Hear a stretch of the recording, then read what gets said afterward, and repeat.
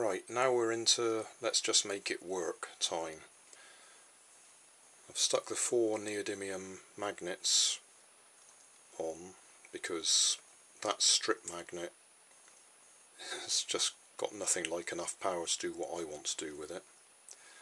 Um, this is one of those reed relays out of those LED auto lights, the drawer lights. Um, I've disconnected the rest of the circuitry and there's just the um, reed switch on there. Got my coil of speaker wire so that was a pound from Poundworld. The LED light switch that would have been a pound.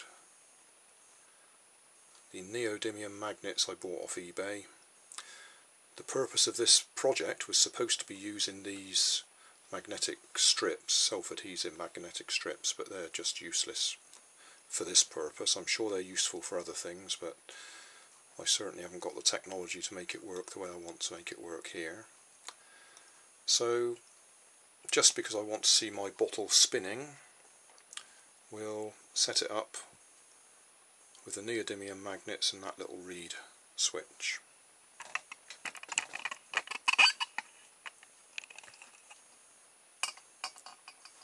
some power on. Give it a little bit of help.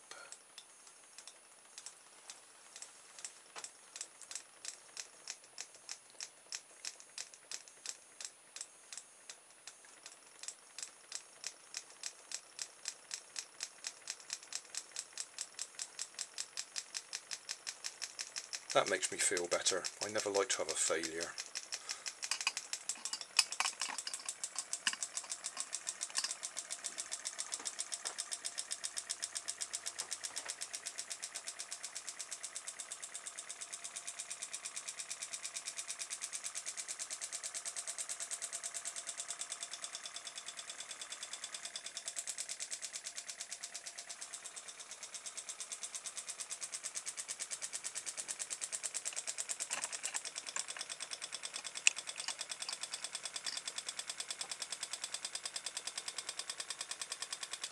Just see if I can do a close-up of the reed switch.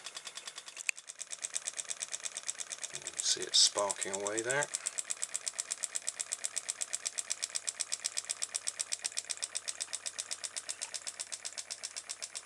Hmm. Just after I videoed that you can actually see it's turned black where it's welded itself together because it couldn't cope. I've decided I quite like these reed switches now.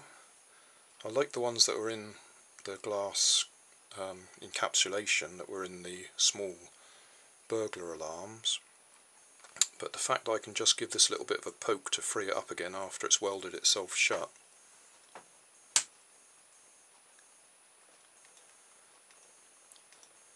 is uh, brilliant. See, we're up and running again.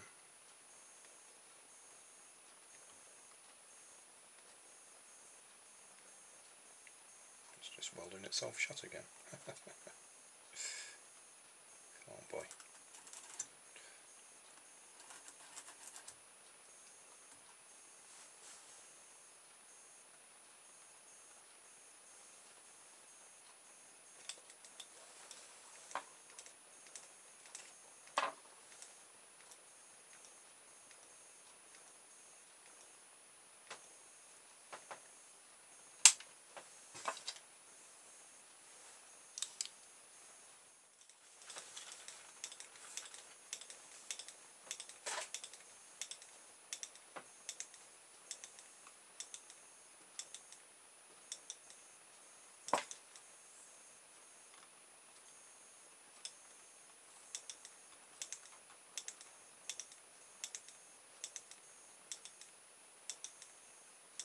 Guess what we really need is a proper little